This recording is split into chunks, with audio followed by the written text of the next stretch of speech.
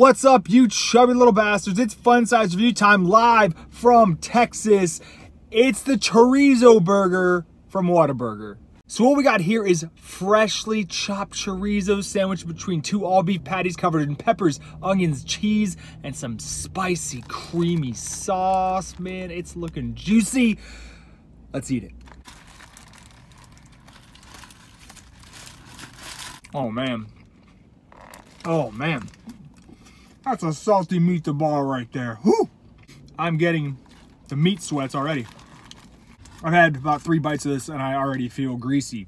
I gotta say, I think I expected a little bit more out of this burger. I love Whataburger, I love chorizo, but uh, maybe a, a little more spiciness would help.